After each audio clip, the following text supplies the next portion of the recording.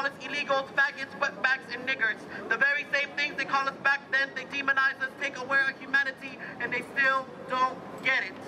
Someday, a president apologizing for all the pain, the bloodshed, for all the struggle, thinking it's going to solve the trail of tears, the Jim Crow laws, the Japanese internment camps. They still won't get it. Their ancestors are still agitated, that this pain and trauma is passed down to our seeds, that this pain comes from genetic memory. They will think that all these marches and shouts denouncing their hatred were intended to gain their respect. They still won't get it. They will pray to our gods, cling back to the land. They will ask us about our secrets, about how we have managed to survive. They will use our practices to find peace. They will meditate with us, pray in our temples, seek understanding in our teachings. One day they will see that we are not weak. They will celebrate us, parade us, tell tall tales of us, and they still won't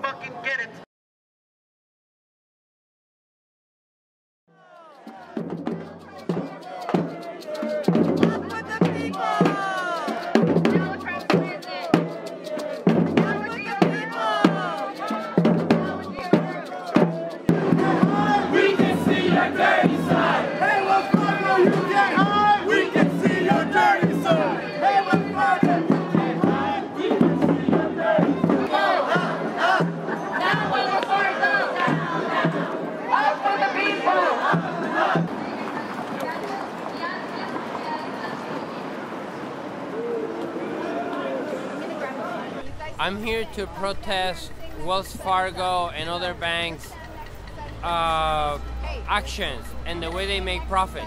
Wells Fargo right now is investing in in a company that profits from incarcerating people who are here looking for a job. Wells Fargo um, has shares in the Geo Group, and the Geo Group is a uh, and it's a corporation that develops private detention centers and private prisons, and they get taxpayer money to continue to hold detainees. We're here today in front of Wells Fargo in downtown Oakland to protest their investment in privatized immigration detention centers. They invest in many companies that run privatized detention centers. These detention centers have incredibly inhumane conditions. People have died. Since 2003, 124 people have actually died in these centers. They also give a lot of money to lobbyists to pass laws such as AB 1070 um, and anti-immigrant laws that will further um, have more people into the prison so they can continue to make money. So things like SB 1070, a racial profiling law in Arizona that is scooping up migrants just for the way they look, was drafted by ALEC, a lobbying arm that is invest that is a high priority for Wells Fargo to invest in.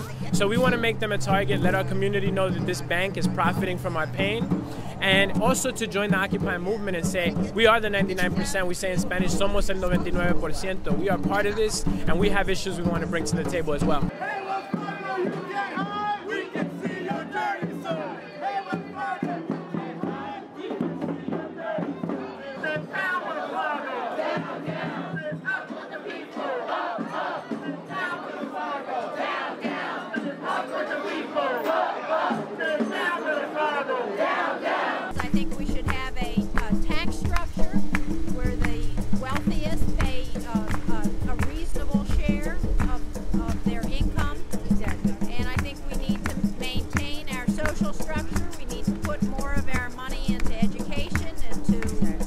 Health care for, for all people. Redistribution of the wealth.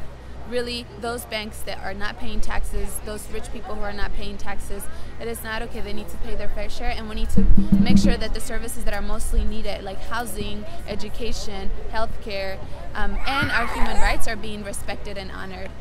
Well, I think the genius of the Occupy movement, which some of us, you know, folks of color that are trying to get involved would rather call the colonized movement, is that we've seen that a Republican Party is not our friend. We've seen that a Democratic Party has a lot of excuses for why it can't pass the kind of legislation that the 99% want. And what we've come to a conclusion, and the maturity of this movement shows, is that actually in this government, the banks and the corporations have more power than the people right now. And we need to change that dynamic.